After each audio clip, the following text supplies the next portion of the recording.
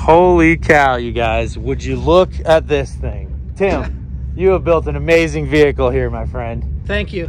Yeah, so we wanted to showcase and, and do a quick little video for, for you guys to see how beautiful this machine is. Thank you. Um, yeah. Some things are over the top, like a 75 inch TV, theater room, Starlink. That's a weather station, the Xbox or the PS5. So I have a MIG TIG AC DC welder. All of this runs off of the solar. I've got a little mini mill, lathe down sander, belt sander, everything I need to self recover or self fix, hopefully. but other things, you know, like the uh. wood burner, um, that always works. Well, if you have a dream, you just got to sit down with a blank sheet of paper and figure out how to go achieve it. And that's what I did, one little step at a time. Every day, you just keep grinding.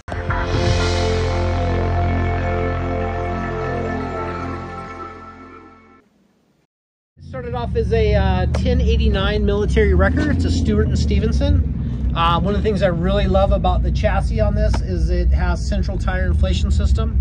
So I can inflate and deflate the tires uh, going down the road, which was, makes it really cool.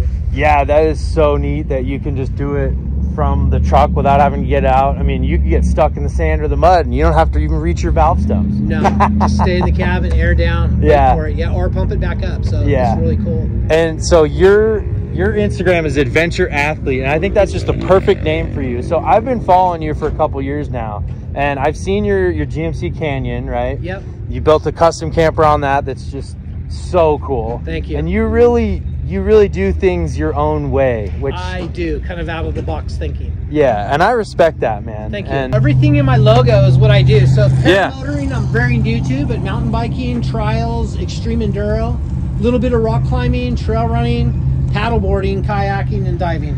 so, a cool. A little of everything. Heck yeah. And I'm carrying everything with me. We are a King of the Hammers, so that's it's great to finally meet you out here, and you guys will probably hear some of the rigs rolling around. But uh, yeah, nice Always raw. a great event, great people. Oh yeah, so awesome. So I built a 28 foot box.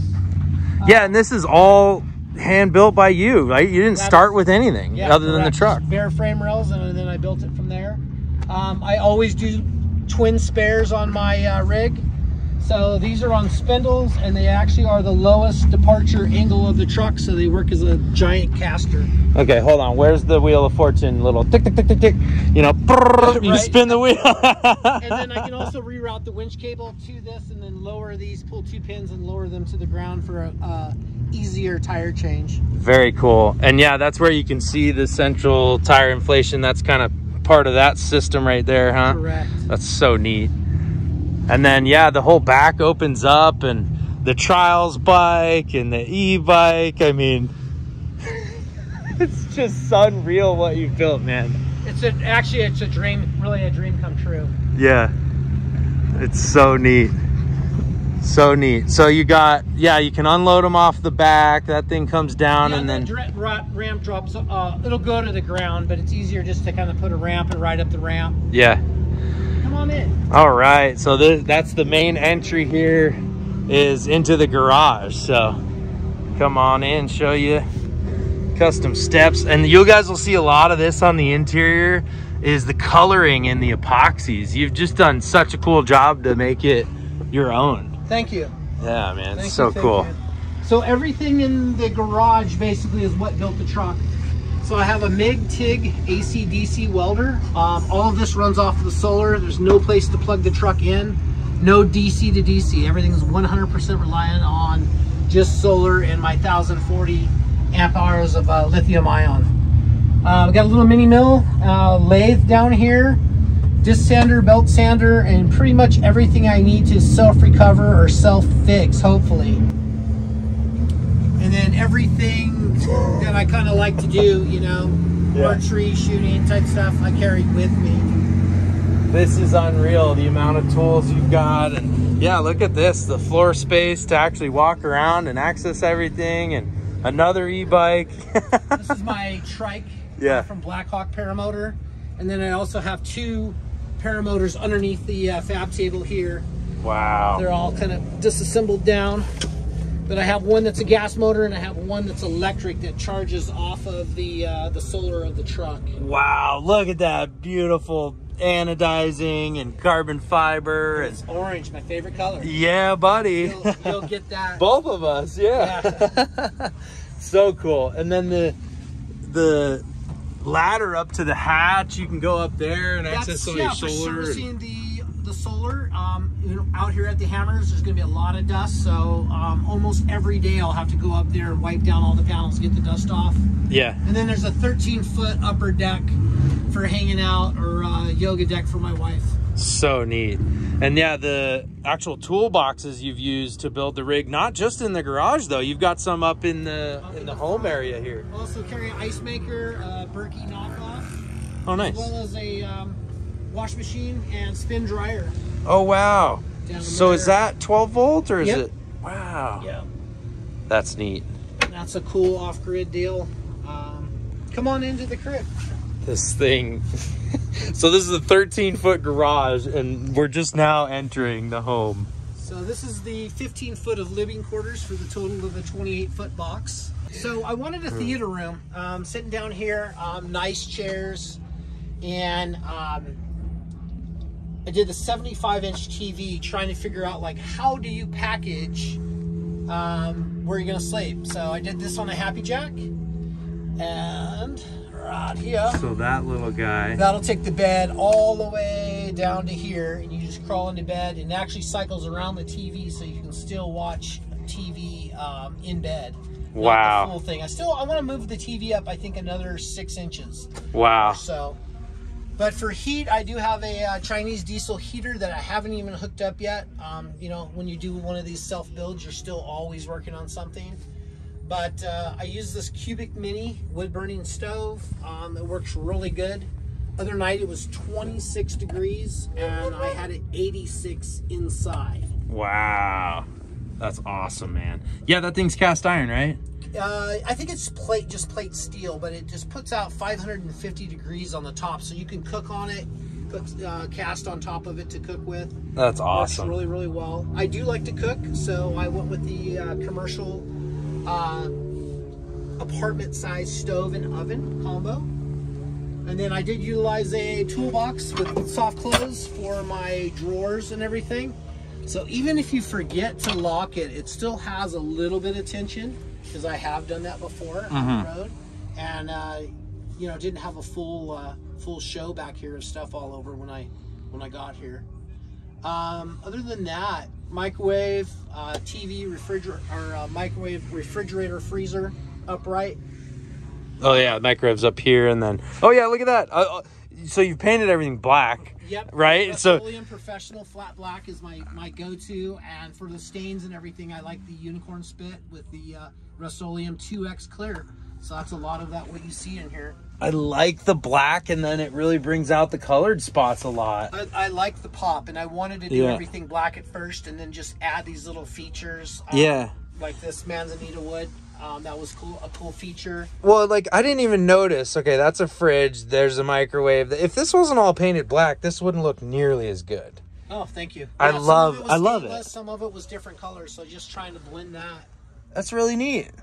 I don't know. It's not. It's not something I would think to do, but it looks really good. And then the same with the black carpet. You know, there's a lot of carpet in here. and double padded. And, Yeah. Uh, people ask like, "Isn't that hard to take care of?" I don't, I don't have any, but I've had hundred people through here, and I Yeah. just vacuum. Yeah. It's pretty easy to to deal with. I always do carpet where I sleep Yeah. because if your hand touches it, it's not soaking the cold away or the heat away from you, and then it's good to uh, dispense your breath. Yeah. Yeah, and, and you don't get condensation and and Correct. Correct. yeah, build up around, and that's that's really neat. Then I did a double uh, double door for the pass through, so there's a watertight on the cab and then a watertight here, so I don't have to have a boot in between the two. Very cool. So, do you use the pass through on this much, or just kind of passing like items through? My or? dog loves it to run back and forth. Um, she likes to sit up in the cab and look and see what's going on around her. That makes sense. Yeah. That's that's really neat for the doggos. Yeah. This is some driftwood that I found out in the middle of the desert that I just did the same unicorn Dude. spit and um, 2x clear. Cool. I just noticed that as you said it. That's neat. That's like some real artsy stuff, man. Yeah, just like the pop of color, you Yeah. know, um, to get away from just the all black. Yeah. Love it. Watching down to mob videos, of Down course. and then you got little uh what's this? You got like a whole screen here with all Uh, sorts of stuff. Yeah, that's a weather station, so it tells you outside temp, inside temp. Um, barometric pressure and then the wind. That's uh, and then it has a rain gauge up top, so you know if you've gotten rain. Um, a lot of times I close all these port hatches. Um, if the weather's you know cold out, I don't worry about looking outside. I just stay in here and watch some TV or play the uh, the Xbox or the PS5. Um, got you know for you know you're going to have down days when you're out, and so having something to occupy your time. Uh, tried to cover all of that. Absolutely. Yeah, well, you've definitely got the comfort, the the video games occupying your time inside, occupying your time outside with the e-bikes, the paramotors. Right, You're and I- living it up, no matter dude. what the weather is, is you got to get out and get a couple hour training session in. Yeah. And then uh, come in, rehydrate, and get some good food in you. Yeah, So- absolutely. Well, and that's uh, something you know you mentioned too that I think is notable. You don't have any windows in this rig; they're all hatches. They're all hatches, Yeah. um, which is kind of I haven't seen a whole lot of people do that, and a lot of people are like, you need to put windows in. I'm like, yeah, I just kind of like the idea of just being able to come and push something open, and Yeah. now you have full view. Yeah. Well, and you got airflow. Um, you And can. uh, You're not closed off to it because it's a window. You're like opened up to the environment. Right. At first, when you said it, before I came in here, I was like, I don't know about that. I, I dig it. I like it. And I'm gonna still I like do it some lot. screens on Yeah. mag- magnets, Yeah. so they can fold up and go away. Out Yeah. here, bugs are not a problem. As you know, a lot of different places you go to, you're like flies and mosquitoes and bugs coming in are a big problem. Mhm. So that's going to be something that's going to be, you know, as you do, you just keep evolving and adapting to your environment. Absolutely, yeah. Screens for sure would be a big, big uh, upgrade, but I like I like this a lot because you can go full open, you know, wind, all, tons of airflow to cave mode, Right. and right. just chill. Like, uh, my build style That's is what so I call cool. rust industrial. So rustic and in- industrial. Yeah, So rust see a lot industrial. exposed wiring that makes things easy to work on if you had a fault somewhere. Yeah. It's not hidden in the wall that you're chasing wires. Um, it's just simple, easy. Um, some things are over the top, like a 75 inch TV, uh, Starlink. But other things, you know, like the wood burner, um, that always works. You can always find wood out somewhere. Um, I go for a walk every morning with my little cart and just find stuff that most of the people have left behind from years past. And that's what's been keeping me warm at night. Yeah, that's a beautiful thing, isn't it? Like, I know just at the property, we're we're still processing and burning trees from when they built the road in. I don't know, five years ago. We don't, Right. and they literally just came through and pushed it. They're like, we don't care about these trees. We want a road. Right, And I'm like, oh, I'm so glad you're here, trees. Right. And we get to use these resources Yeah. that are just wasting away. Warm natural heat. Yeah. yeah. Yeah. That's super neat. I love the wood stove. I really want one in a rig. I think mine's a little tight. I could pull it off, but but this rig like totally justify that. And so you carry chainsaw then? I do. Yeah, Yeah, we got a awesome. Milwaukee everything. Of course, of course. He's, does he have a chainsaw? You guys think? Yeah. I think he does. Yeah. And stuff like uh, 100 gallons of water, Okay. Yeah. but like in the bathroom.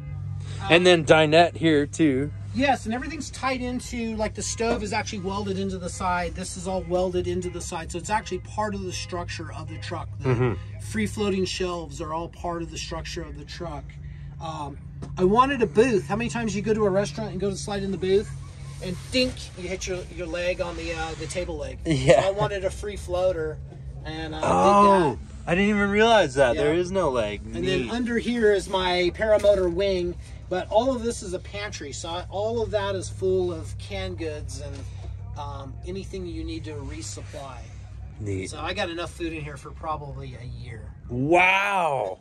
That's a lot. You might have more food than Julie. She has. She carries a lot of food. The, the big dude don't want to run out of food for Right. sure. Yeah. But like the bathroom, it's got um, a little instant, uh, instant on demand that you would see on like outdoors.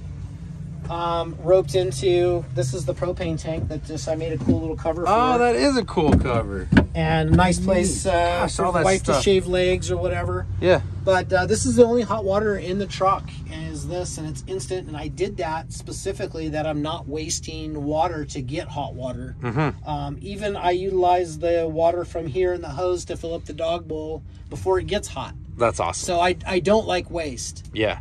Um, This uh, was a little deal I got from Home Depot as a uh, a mirror that I've turned into a cool vanity. Look at that. And then uh, I have all my stuff. I have a full. Um, I carry three first aid kits. One's a full surgery kit, Mhm. and then everything else is more like a bleed kit and wound uh, treating. With all the extreme sports, that makes sense. That's good. Yeah, you always know you're gonna dink yourself up out. Yeah. So Yeah. um, the bleed kit, which is up here, which is just a quick little stop you. Oh, I have one of those. Yeah. Stop you from bleeding. It's got band aids and super glue and all the little things that uh, for the everyday, which really works out well. Yeah. And I put that together for um, not a whole lot of money, probably 15, 20 bucks from That's Walmart. awesome. Yeah. What a, it's a nice size uh, bathroom you got there, and you got Not bad. some stone flooring, huh? I wasn't worried about weight, so yeah, it's got a rock floor and full grout. Um, no problem with that cracking or anything. The whole wood structure on this is covered in uh, Herculiner, two coats on each side and four around the perimeter. So Oh. if the carpet gets wet, the wood is not going to go bad Yeah, because everything is watertight. that's awesome. And as far as weight, so how much does the truck weigh? The truck was 36,000 pounds uh, as a wrecker, Mm-hmm. and we're right in the 30,000, 29 to 30,000 pound as we're rolling down the road. So we're lighter than we were as a wrecker, and um, I did put highway gears in it, so it gets somewhere around uh, six to seven, pretty consistent right now. Nice. I've only done about 1,100 miles so far, Yeah. and uh, super happy with the with the build and the truck itself. Heck yeah. Yeah. Yeah, it's it's beautiful, man. It, it honestly like you can just see how you built it for your lifestyle Right. specifically and uh I just love it. It's just honestly just a work of art. Like and and it's it's built for basically two people. It sleeps 2 Mm-hmm. You know, people are like, "Well, what are you gonna do with the grandkids? They can sleep on the floor." Yeah, right. it's got carpet. It's Yeah, I- comfy. I, carry a tent. They can sleep outside in the tent or up Yeah. on the roof on the tent. You know, whatever whatever works. Yeah. Heck yeah. Well, thanks for showing us, man. You're it's welcome. a pleasure meeting you, and, and it's really um, it's really exciting to share it because Awesome. I know that some of you guys are going to get some ideas from this and go build your own cool stuff. Well, if you have a dream, you just got to sit down with a blank sheet of paper and figure out how to go achieve it. And that's what I did, one little step at a time. Every day, you just keep grinding. Yeah, absolutely. Well, dude, you're an inspiration, man. Thank you. Yeah, thank you. Go follow Tim, Adventure Athlete, Instagram, YouTube, Yep. And uh, yeah, you're you're full time on the road Yep. for for a little bit in this, huh? Yeah, for I committed to a year. I do have to Sweet. go back in town and do some taxes, but other than that, back out on the road, Awesome, living the lifestyle. So awesome, man. loving it. Well, yeah, great to finally meet you. Thank you guys for watching. We definitely know Tim's down to mob. So comment and let us know what you think of the rig and all the like button stuff. But really the question is, are you down to mob? I'm down the mall. Yes.